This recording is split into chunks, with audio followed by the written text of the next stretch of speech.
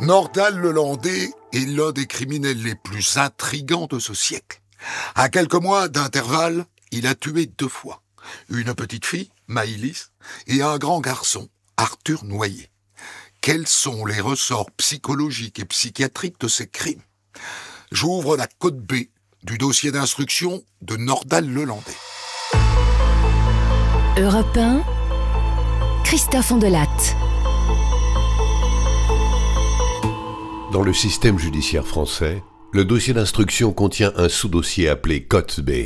Il rassemble les rapports des experts psychiatres, psychologues et de l'enquêteur de personnalité. Ouvrons l'un de ces dossiers. On de la raconte. Cote B sur Europe 1. En janvier 2019, Nordal Lelandais est suspecté d'avoir au minimum enlevé et sans doute tué une petite fille de 8 ans qui s'appelle Maëlys des et un grand garçon de 23 ans, le caporal Arthur Noyer. À ce stade, le Landais nie tout en bloc. Mais la presse s'emballe, elle suppute. Il serait un tueur en série. C'est au cœur de cette ébullition médiatique qu'un premier expert psychiatre, le docteur Blacher, le rencontre en prison.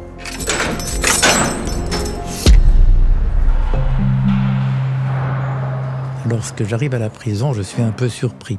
D'abord parce que je croise une collègue qui me dit Ah, c'est toi qui vas expertiser Nordal Lelandais. Je suis assez surpris parce que je ne connais pas cette collègue, elle me tutoie. Mais euh, d'emblée, on se rend compte que Nordal Lelandais n'est pas un détenu comme les autres. Et lorsque on arrive en prison, il y a une sorte de, sas à l'entrée où on hum, dépose nos affaires personnelles, nos téléphones portables. Et puis, il y a un sas comme dans les aéroports, hein, donc un portique où on détecte les métaux, les clés, on enlève tout ce qui, euh, qui peut être problématique.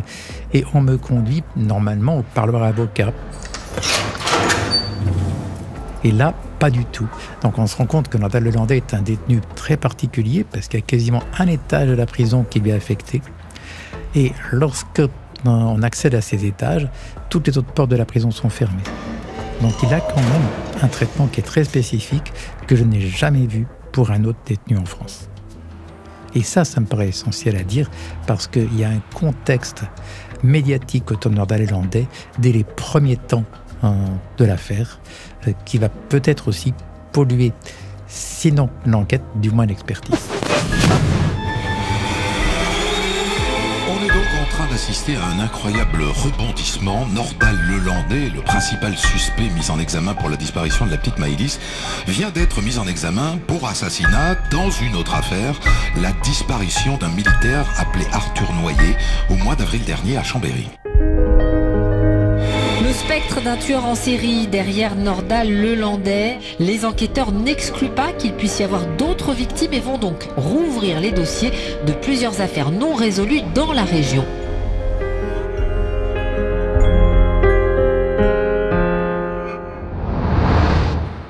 Bonjour, monsieur Lelandais.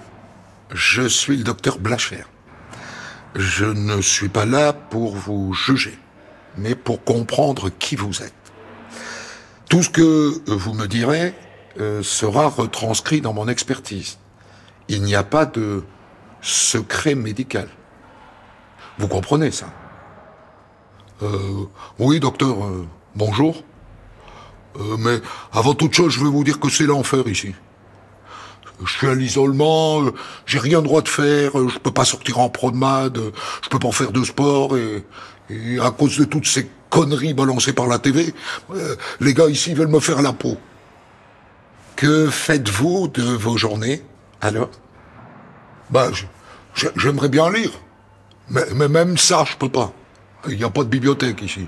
Et, et ma mère, elle, elle est venue me voir qu'une fois, parce que depuis, elle a eu un accident de la route. Bon alors, ben, je, je passe mes journées à regarder la télé, quoi. Et à dessiner. Votre prénom, Nordal, et celui de votre frère aîné, Sven, sont peu courants. Pourquoi un tel choix de vos parents? Oh ben c'est- des prénoms nordiques. Ils les ont choisis parce que on a de, de- lointaines racines norvégiennes. Viking même.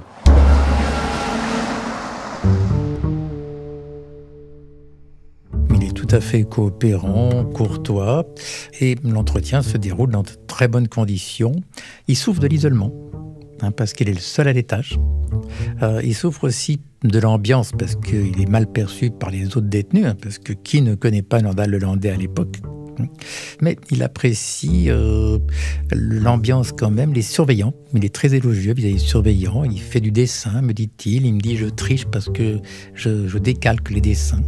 Euh, il me dit qu'il a apprécié la relation avec un surveillant qui lui aurait dit euh, Ah ben j'aime bien quand tu dessines. Donc il essaie d'apparaître comme quelqu'un de très humain. Est-ce que c'est joué? Une question qu'on peut se poser, mais en tout cas, le premier contact que j'ai avec lui, ben, plutôt agréable. En tout cas, c'est pas quelqu'un qui a un contact désagréable. Je ne dis pas qu'il est séducteur, en tout cas, il est poli, très adapté, très courtois. En fin d'entretien, il a mal au dos. C'est quelqu'un qui souffre de lombalgie et il se plaindra effectivement, s'excusant de ne pas pouvoir se tenir droit face à moi. Donc, c'est quelqu'un qui a un comportement très adapté, qui peut très bien s'adapter à son contexte.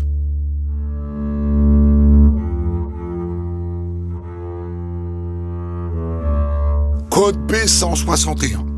Rapport d'enquête de personnalité. Nordal Lelandais est né le 18 février 1983 à Boulogne-Billancourt, en région parisienne. Il a une demi-sœur issue d'une première union de son père et un frère de deux ans son aîné. Monsieur Lelandais dit avoir effectué une scolarité tout à fait banale. Et il raconte. Oh, je, j'ai des super souvenirs. Hein. L'école, elle était au centre d'une rotonde. Et autour, il y avait toutes les maisons du lotissement, quoi. Et nous, on habitait la rotonde. On pouvait rencontrer tous les copains, quoi. Et jouer ensemble. Au collège, Nordal Lelandais était scolarisé en sport-études. Il voulait être biathlète. On a l'impression qu'il a été élevé par une famille tout à fait unie, avec un bon papa, une bonne maman et qu'il n'a pas souffert. Il raconte effectivement une enfance très heureuse, au départ dans la région parisienne, puis hum, après euh, à côté euh, du lac d'Aiguebelette, en Savoie, hein, où il décrit c'est la première fois que je voyais des vaches, je croyais qu'il y en qu'au salon d'agriculture. Il emploie presque de l'humour pour en parler. Quand on lui demande euh, les problèmes avec votre papa, avec votre maman, avec votre soeur, avec votre frère, eh ben c'est un peu la famille idéale, la petite maison dans la prairie. Et là, on peut soulever deux hypothèses.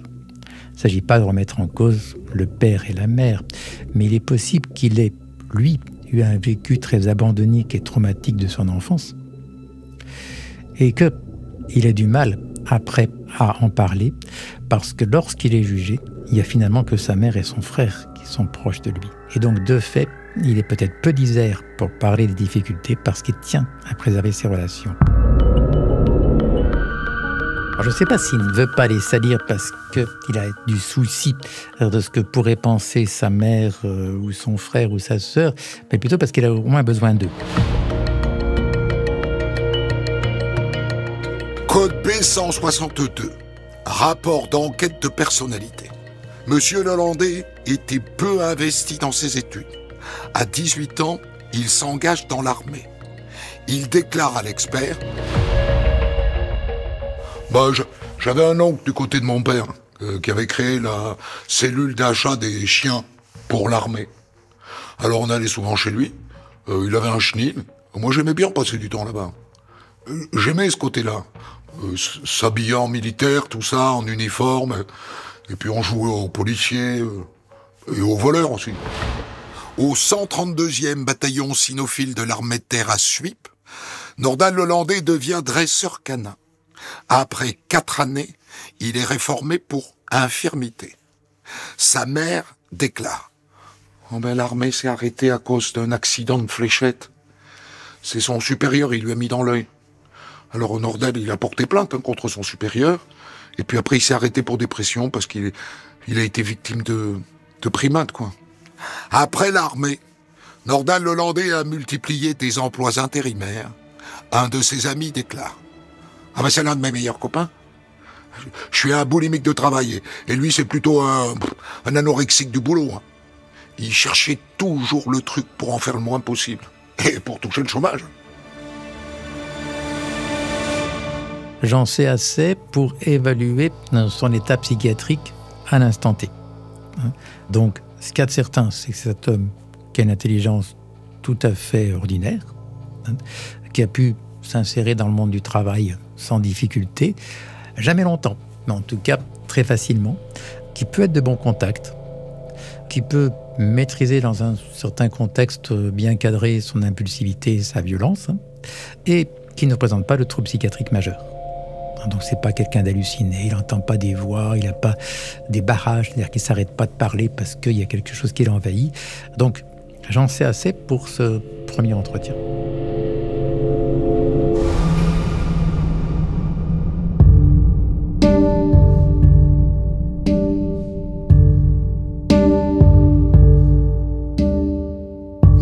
Nordal le Landais répète à la juge d'instruction qu'il n'a rien à voir avec la disparition de la petite Maïlis. Mais après cinq mois et demi d'enquête, les experts de la gendarmerie révèlent une micro-tache de sang de Maïlis dans le coffre de sa voiture. Acculé, Nordal le Landais craque. Il reconnaît avoir tué accidentellement, dit-il, Maëlys des Arrojo. Cinq semaines plus tard, il admet s'être bagarré avec le caporal noyé. Mais il affirme que le caporal est mort accidentellement. Après ses aveux, le Landais s'écroule psychologiquement. Il est placé dans une unité psychiatrique spéciale à l'UHSA du Vinatier, à Lyon. Et c'est là que le docteur Blacher le rencontre pour la deuxième fois. Le Landais a énormément changé.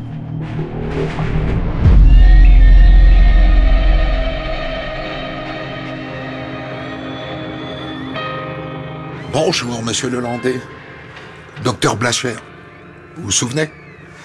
Je viens vous voir une seconde fois avant de rendre mon rapport d'expertise à la juge. Docteur comment? Euh, Je vous, vous reconnais pas. On s'est jamais vu. En tout cas, je me rappelle pas.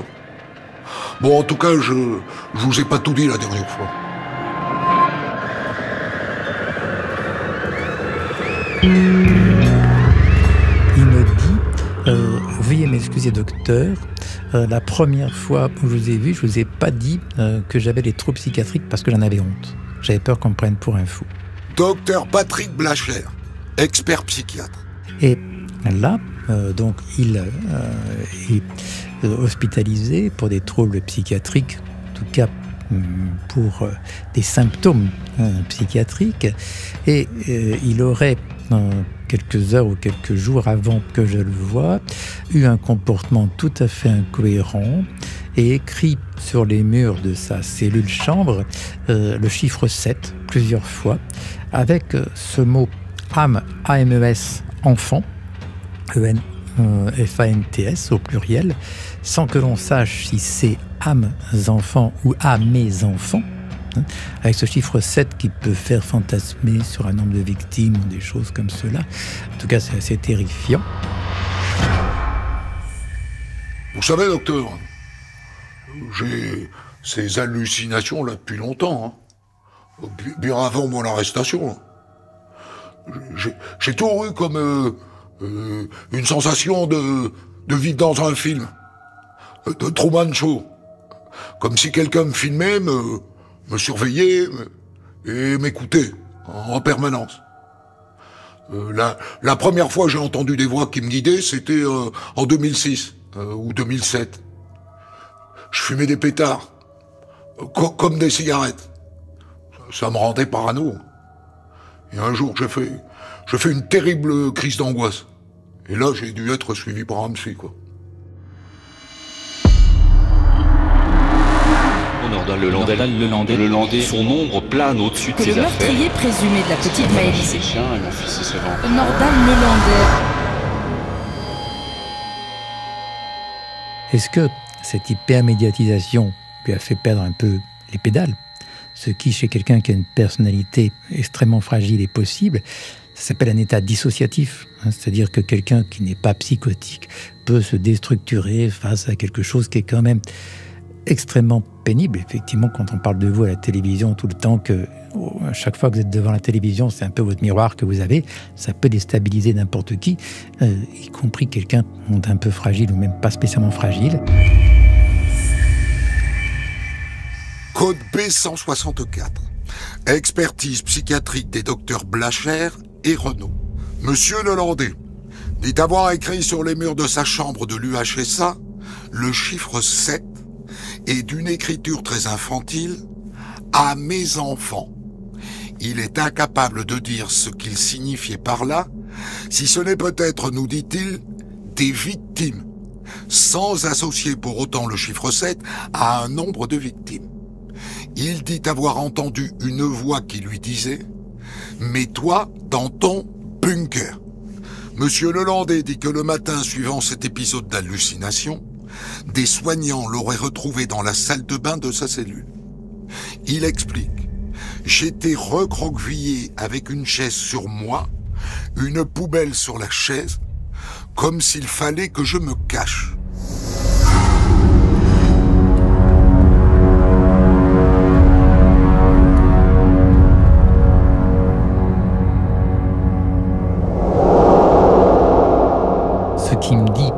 L'interroge sur un Maëlys, il me répond cette phrase C'est compliqué, c'est confus surtout, elle m'a sauté dessus.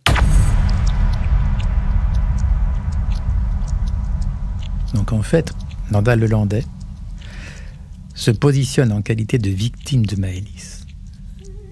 Hein, C'est-à-dire qu'il dit que c'était dans un côté délirant. J'étais à côté de moi-même, j'étais comme si je survolais ma voiture avec un drone, j'étais spectateur de ce que je faisais. Pour moi, cette deuxième personne qui est en moi était là.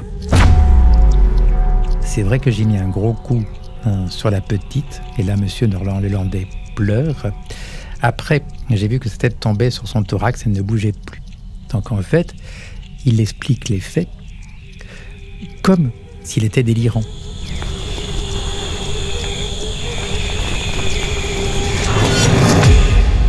Lorsque je l'interroge, puisque je suis moi missionné hein, pour le caporal Noyer, il dit que hum, il a pris euh, le caporal Noyer en stop, qu'il était euh, fortement hum, alcoolisé et il aurait eu un différent hein, hum, généré hein, par le caporal Noyer. Euh, D'après M. Lelandais, on s'est battu. Je ne me souviens pas vraiment comment ça s'est passé car j'avais bu et j'avais pris de la cocaïne, dit-il. Par contre, il se souvient très bien hein, de la suite. Non, ce n'était pas une voix, mais c'était comme une vision. Un visage de monstre, c'est un peu comme dans les films d'horreur quand quelque chose de monstrueux apparaît subitement. Alors qu'en fait, il dit, même pour expliquer les faits concernant le caporal noyé, qu'il y avait quelque chose de délirant en lui et qu'il voyait une sorte de monstre dans le caporal noyé. Donc, on est euh, dans une reconnaissance euh, des faits. Il dit pas c'est pas moi, mais il les met en relation avec une psychose.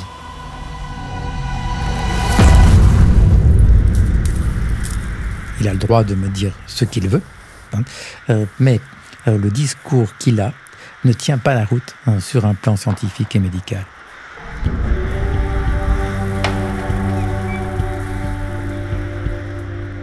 Code B313. Rapport d'expertise des docteurs Blacher et Renault. Nordal Lelandais a indiqué avoir entendu des voix. Il a évoqué des hallucinations acoustico-verbales. Nous écartons l'hypothèse d'une schizophrénie. Ces hallucinations alléguées sont feintes. Au moment des faits, Nordal Lelandais n'était pas atteint d'un trouble psychique ou neuropsychique qui aurait altéré ou aboli son discernement. Pour être relativement simple, euh, lorsque l'on a un accès psychotique, ça peut être dû à deux types de problématiques. Soit une psychose schizophrénique, c'est quelqu'un qui depuis l'adolescence euh, ben, une pensée qui se déstructure et puis qui peut avoir des hallucinations, des automatismes mentaux. Un exemple très simple, j'ai vu un jour un jeune homme en rupture de soins, hein, parce qu'il n'avait pas pu avoir sa piqûre de neuroleptique retard, et qui a eu l'impression que Jésus lui demandait de se déguiser en Père Noël. donc il s'est déguisé en plein mois d'août euh, en Père Noël. Ça, c'est quelque chose qui n'est pas compatible avec le dossier médical et avec l'examen de M. Nalandais. Il n'a aucun trouble de la schizophrénie. Parce qu'en dehors du délire, il y a d'autres éléments symptomatiques que l'on retrouve, et notamment euh, un isolement social, il n'est pas isolé sur le plan social, un peu d'intérêt sur la sexualité, on peut dire c'est le contraire, entre autres. Donc c'est pas possible qu'il soit schizophrène ou qu'il l'ait été à l'époque des faits. La deuxième possibilité que l'on peut rencontrer, c'est l'état dissociatif. On les rencontre surtout chez les victimes. Quand vous êtes victime de quelque chose d'horrible, on peut euh, perdre un peu la raison.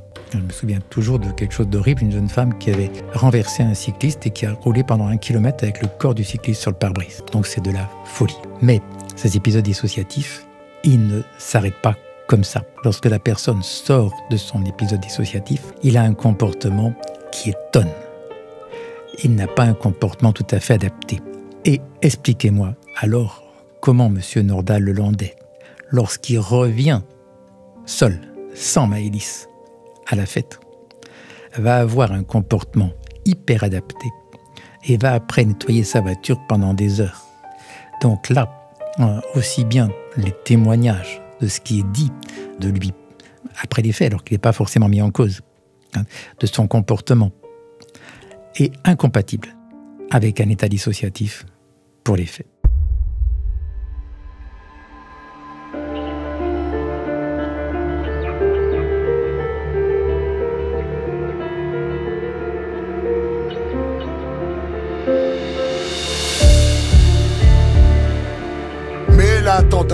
Manipulation de Nordal Lelandais ne prend pas. Il est expertisé par cinq psychiatres et unanime, ils affirment que Nordal Lelandais n'est pas fou.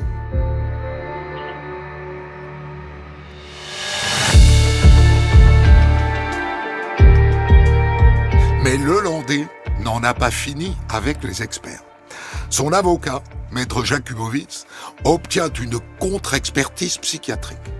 Et pour la réaliser, un binôme de psychiatres est désigné, dont le docteur Paul Bensoussan. C'est un expert aguerri, il est scotché par le profil de Lelandais.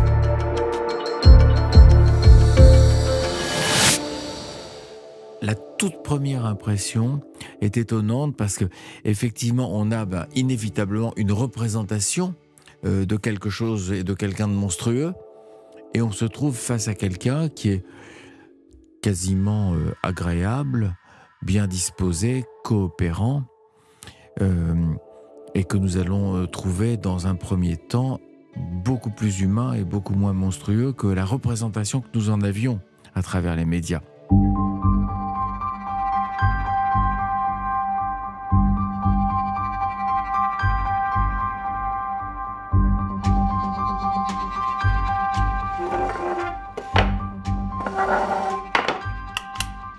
Vous savez, des gens dans des affaires aussi médiatisées supportent de plus en plus mal d'être interrogés sur les faits, parce qu'ils les ont évoqués 100 fois.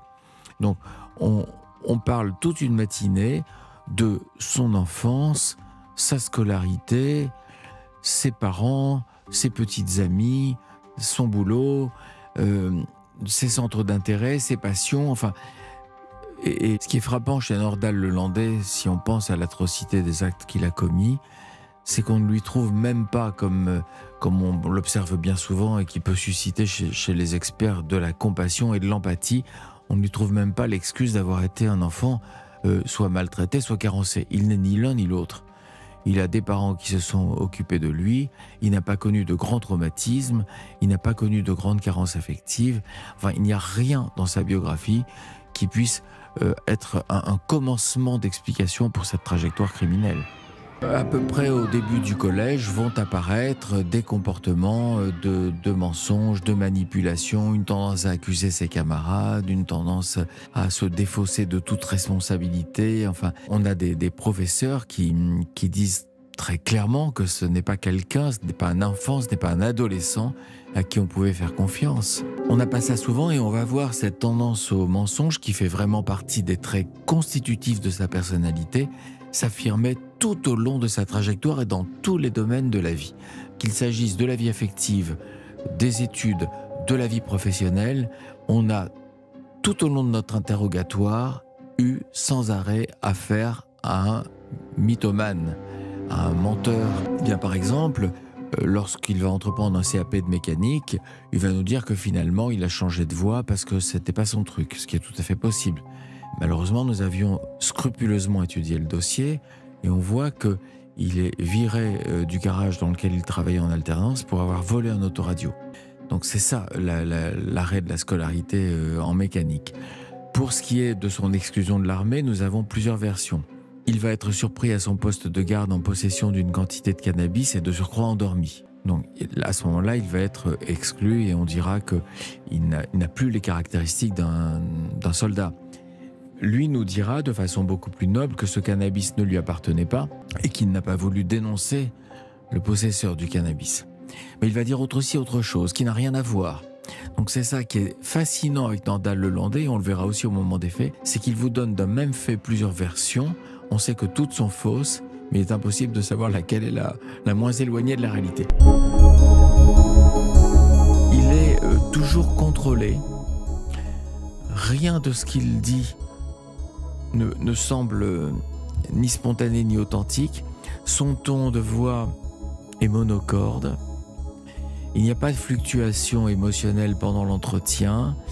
Euh, on a l'impression qu'il regarde toujours un petit peu plus loin euh, euh, que, le commencement de sa phrase pour savoir où elle va, où elle va commencer, où elle va finir.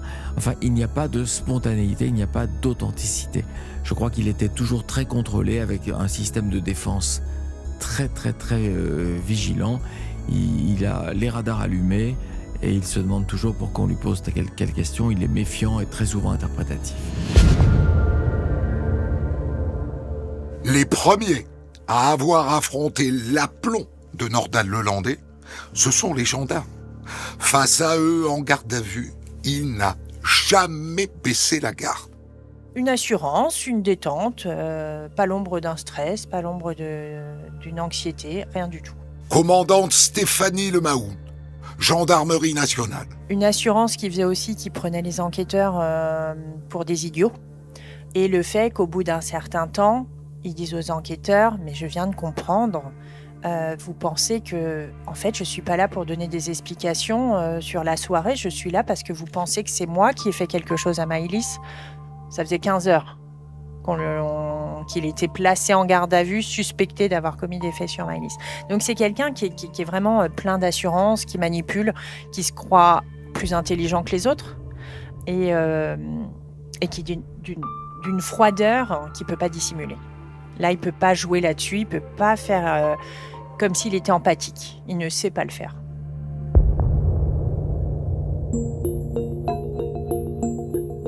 Trois mois plus tard, le Landais est à nouveau entendu dans le cadre d'une garde à vue. Et cette fois, c'est pour l'enlèvement du caporal Arthur Noyer. Et une nouvelle fois, les gendarmes ne semblent pas l'impressionner. Par rapport à son comportement, rien n'a changé. Ni son assurance, euh, ni le fait qu'il ait réponse à tout, ni le fait qu'il nie même les évidences. Euh, c'est-à-dire qu'on lui a fait notamment un schéma euh, qui montre, qui déclenche exactement aux mêmes heures, les mêmes relais que le téléphone portable euh, du caporal Arthur Noyer. Et il nous dit que c'est le hasard. Donc euh, il a toujours euh, réponse à tout et il nie même les évidences. Il est toujours pas stressé, il est toujours pas inquiet. Il sourit, mange bien. il dort bien pendant les temps de pause. on est souvent forcé d'aller le réveiller. L'attitude de quelqu'un très détendu.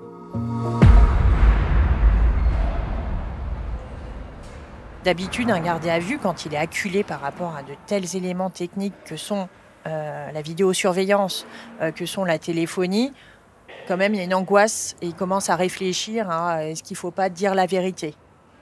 Nordal Lelandais, pas du tout. Ça lui effleure même pas l'esprit de dire la vérité. Il maintient, euh, il maintient ses versions abracadabrant tout au long de sa garde à vue. Par rapport à son parcours criminel, à savoir deux homicides en quatre mois, euh, je me dis qu'il n'est pas impossible qu'on le revoie un jour en garde à vue euh, pour un autre euh, fait criminel. Ce que je sais, c'est que même s'il y a une autre garde à vue, il n'y aura toujours pas d'aveu. Il n'y aura toujours pas de reconnaissance des faits. Qu'il avouera jamais en garde à vue et que c'est un individu froid. qui toujours nous a laissé finalement un sentiment d'échec et que qu'il avait maîtrisé les gardes à vue du début à la fin. Docteur Paul Bensoussan, expert psychiatre. Mais il est exceptionnel sur des durées aussi longues d'entretien que quelqu'un ne baisse jamais la garde et ne se montre jamais authentique. Donc on ne sait jamais véritablement à qui on a affaire et il nous a été très difficile avec lui d'accéder à la part, euh, à la part d'humanité qui fait que parfois vous êtes touché par un criminel même si son crime est effroyable. Cette part d'humanité nous a été inaccessible. On ne sait pas dans les heures et les heures que nous avons passées avec lui à quel moment il a été un tout petit peu authentique. Si, je crois à un seul moment, c'est quand il a pleuré en évoquant la, mort de son chien, Tyrone, qui était sans doute son préféré, qui est mort pendant sa détention provisoire. Et je crois que à ce moment-là, et à ce seul moment-là sans doute, il a été authentique.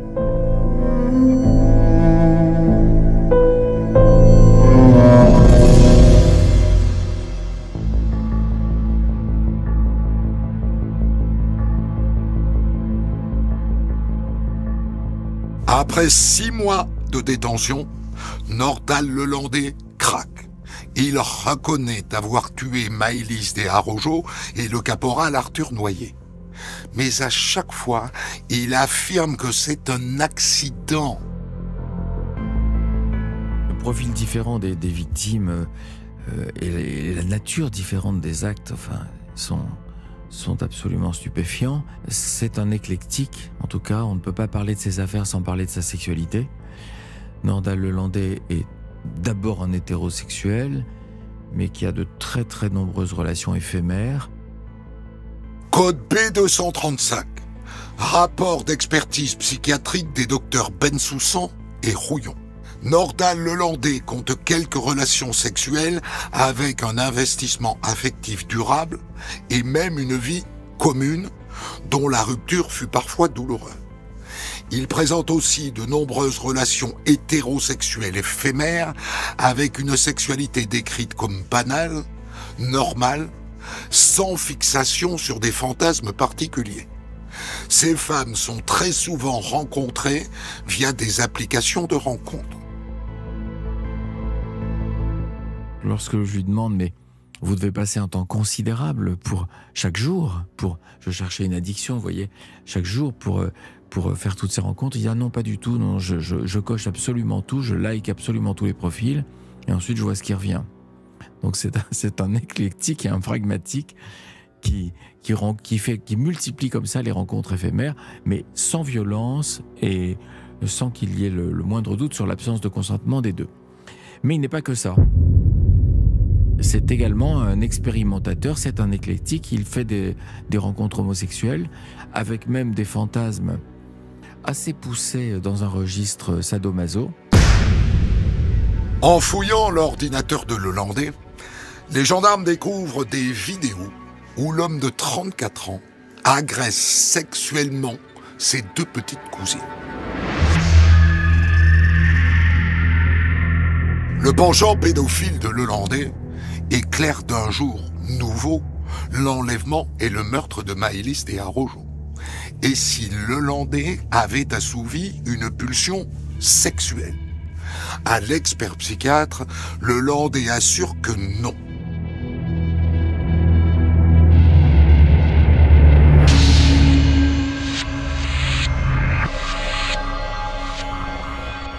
Alors quelle est sa version des faits pour Maëlys Comme tout le reste, elle, n'est ni crédible, ni plausible, ni cohérente et surtout elle évolue au fur et à mesure des interrogatoires. Quelle est sa version des faits? Il est là à cette fête de mariage, entre parenthèses à laquelle il n'a pas été invité, dans laquelle il ne connaît quasiment personne. Et puis, il a été invité pour le vin d'honneur, parce que le marié était une vague connaissance de, de lycée ou de, de, collège. Il est invité pour le vin d'honneur et puis va s'incruster pour, pour la soirée et le dîner. Donc, quelle est sa version des faits? Il discute avec cette petite fille, il lui montre des photos de ses chiens sur son téléphone portable, et puis, comme il doit aller chez lui pour chercher un peu de coke, eh ben, la petite fille demande à aller voir ses chiens. Et lui, bonne patte, il accepte. Alors on lui dit, mais quand même, vous lui demandez quand même si sa mère est d'accord. Vous, vous, n'allez pas voir sa mère quand même pour, euh, pour lui demander si elle est d'accord pour venir dans la voiture d'un inconnu à 2h du matin. Ah non, mais j'ai demandé à Maëlys et elle m'a dit que sa mère était d'accord.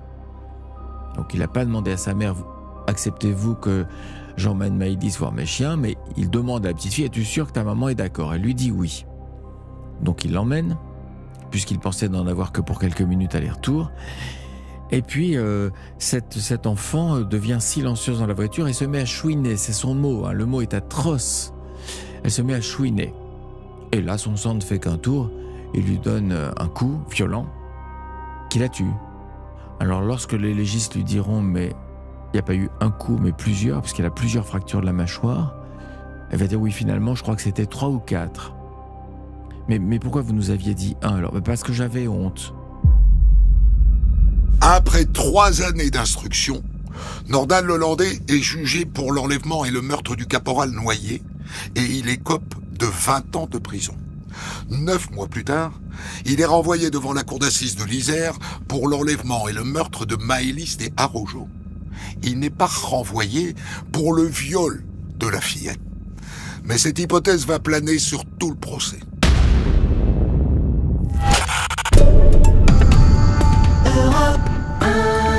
Euh, Jean-Luc Boujon est avec nous. Bonjour Jean-Luc. Bonjour. Euh, correspondant d'Europe 1 à Lyon, vous avez, euh, Jean-Luc, suivi cette affaire depuis le début. Nordal Lelandais n'a passé, on peut le dire, que, des aveux partiels hein, dans, ce dossier.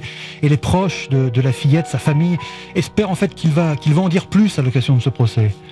Oui, parce que durant l'enquête, Nordal Lelandais n'a avoué les choses que lorsqu'il ne pouvait faire autrement, c'est-à-dire quand les enquêteurs lui ont présenté des éléments matériels irréfutables. On pense par exemple à la micro-tache de sang de Maëlys retrouvée dans le coffre de sa voiture. Là, il avait bien été obligé d'avouer qu'il avait tué la petite fille. Mais c'est vrai que sur les circonstances exactes de l'enlèvement, sur celle du meurtre, eh bien des zones d'ombre subsistent, euh, tout simplement parce que Lelandais n'a jamais donné beaucoup de détails. Hein. Il a juste expliqué que Maëlys était montée dans sa voiture de son propre chef pour qu'il l'emmène voir ses chiens mais qu'ensuite elle s'était mise à pleurer et avait voulu retourner au mariage et qu'agacé, il lui avait donné plusieurs coups de poing qui avaient involontairement causé le décès de la petite fille. Écoutez le père de Maëlys, Joachim. J'attends qu'il se rende compte de tout le mal qu'il a pu faire. C'est une personne qui ne m'inspire que dégoût. Il n'y a que du venin qui sort de sa bouche. C'est un menteur manipulateur. J'ai l'impression que cette personne n'a pas d'âme, n'a pas de cœur. C'est noir. À l'intérieur de lui, c'est noir. Qu'est-ce que je souhaiterais pour nous qu'il soit mis à l'écart? Parce que c'est un dangereux. S'il arrivait à sortir, euh, je pense qu'il ferait encore beaucoup de mal. Il qu'il reste en prison. Pour le bien de tous,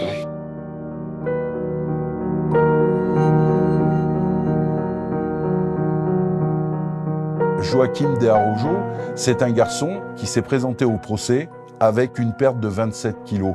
Figurez-vous que c'est exactement le poids que pesait sa fille quand elle disparaît, quand elle sort de son existence. Maître Laurent Boguet, avocat de Joachim de Arrojo, père de Maïlis. On l'a amputé. On lui a enlevé une part de lui-même. Et il fallait, c'était en tout cas moi le devoir que je m'étais assigné, qu'on fasse tout notre possible pour qu'il obtienne le maximum de réponses par rapport à cet instant de confrontation. Vous savez, le procès, on l'oublie un peu trop rapidement, c'est euh, le seul moment où en réalité vous puissiez être confronté à votre bourreau, celui qui vous a euh, fracassé l'existence. L'ancien militaire euh, jugé pour le meurtre de la petite Maëlys en 2017, Gladys Lafitte, vous suivez euh, ce procès pour Europe 1 aux assises de Grenoble. À la barre, Gladys, trois amis de Nordal Lelandais l'ont poussé tour à tour à dire enfin toute la vérité. Ah oui, le temps euh, s'est arrêté trois fois aujourd'hui, trois moments où la salle a espéré que les suppliques de ses amis fassent flancher Nordal Lelandais. Il faut que tu dises aux parents de Maëlys ce que t'as fait, tu le leur dois, a d'abord commencé Fabien, un ami en colère qui s'est senti berné par cet homme qu'il croyait connaître. Les yeux pleins de tendresse, plantés dans ceux de l'accusé, Coralie a à son tour essayé, dans un dialogue à sens unique, de lui arracher la vérité. Il t'est passé quoi par la tête pour faire monter Maëlys dans la voiture? T'as eu une pulsion sexuelle? Je sais que tu m'en nono. Regarde les parents, regarde mais l'ami de toujours fait non de la tête et suit une larme, aucun son ne sort de sa bouche, pas plus quand son meilleur ami s'adresse à lui d'une voix sourde. T'as qu'une chance et c'est maintenant d'être jugé comme un homme compris. Mais l'atmosphère lourde et émouvante n'a pas fait vaciller Nordal Lelandais, qui n'a toujours pas souhaité répondre.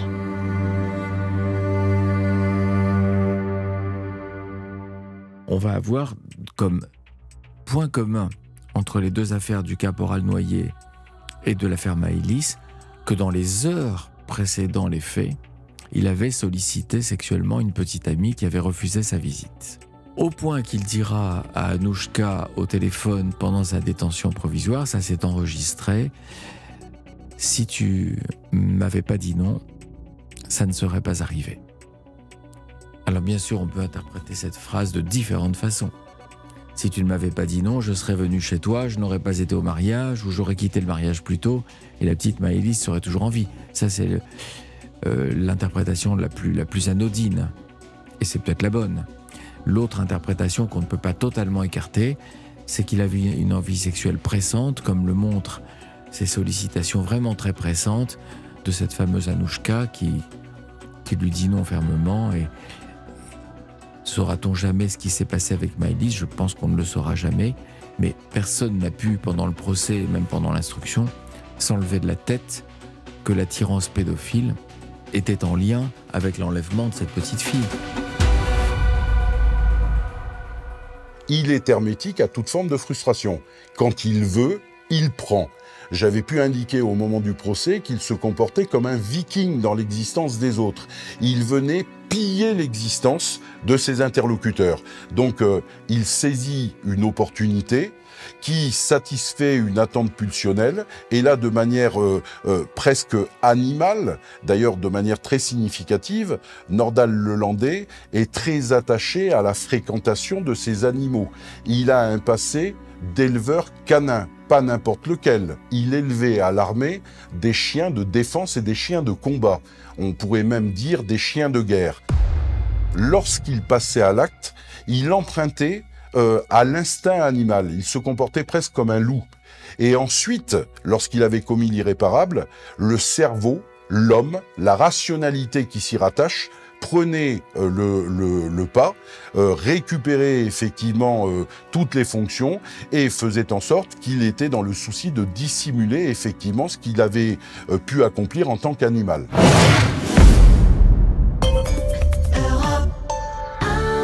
Au procès du meurtre de la petite Maëlys, la Cour a entendu aujourd'hui les parties civiles. Oui, Nordal Lelandais a laissé passer hier euh, la dernière occasion de dire la vérité. Aujourd'hui, la parole était aux avocats des parties civiles, une journée pour rappeler la douleur des parents d'avoir perdu euh, leur petite fille de 8 ans, Gladys Lafitte. Ah oui, notamment pour euh, Joachim De Arrojo, le père de Maëlys, qui vit comme un mort vivant depuis 4 ans et demi, explique l'un de ses avocats. Il décrit ce long chemin de croix qui mène aujourd'hui ce père endeuillé devant la cour, sans haine, sans crier vengeance, mais en réclamant justice.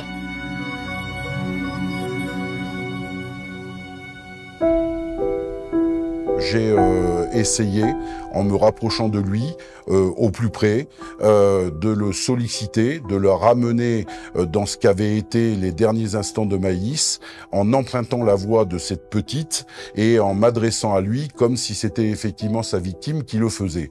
Et j'ai cru percevoir effectivement des réactions, mais insignifiantes parce que parce que il n'est pas, je dirais, dans l'instant où il faut qu'il parle, et je n'ai pas l'impression effectivement que je l'ébranle suffisamment pour pouvoir considérer qu'il a cheminé au cours de ses nombreuses années de détention et qu'il a compris effectivement, euh, c'est la fonction de résilience hein, dont on est en train de parler, qu'il a compris qu'il avait euh, provoqué euh, un désastre monstrueux au niveau de la famille, qu'il avait ôté la vie d'une gamine qui ne demandait qu'à exister et à vivre des instants de bonheur. Et tout ça, c'est quelque chose effectivement qui fait cruellement défaut. C'est d'ailleurs, je dirais, la sentence que moi je m'autorise à lui adresser en disant maintenant, repartez dans le cachot que vous vous êtes vous-même construit et essayez de vous rappeler de cette faible lueur euh, qui était le questionnement de Joachim de qui a recherché à un moment donné, euh, je dirais par une main tendue, euh, les traces d'humanité que vous pouviez avoir conservées.